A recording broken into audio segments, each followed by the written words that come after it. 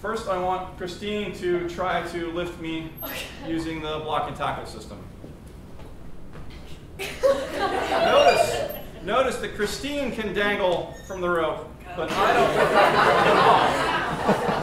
Very good.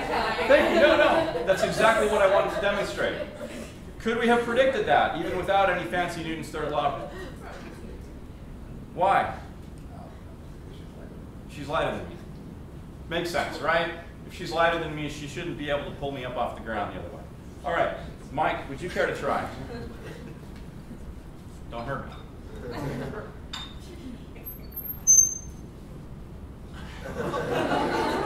It's hard, isn't it? So you can lift me, but it's a little hard. Okay. Think it's going to be any different when I do it myself? Yes? No? Maybe? Yeah? All right. Disclosure though, I hurt myself when I was practicing this before class, so. it's a little hard to uh, maintain my balance when I have to do both the lifting, uh, but there is a little thing called mechanical advantage. Let's see if I can actually take advantage of it.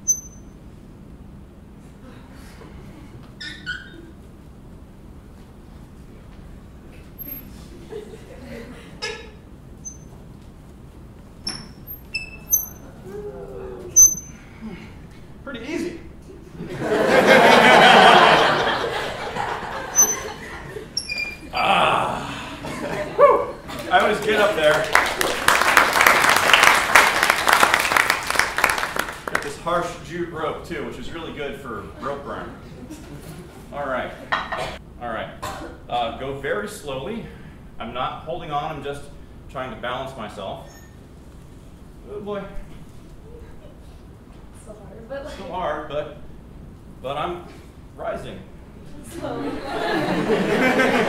are quivering with exhaustion.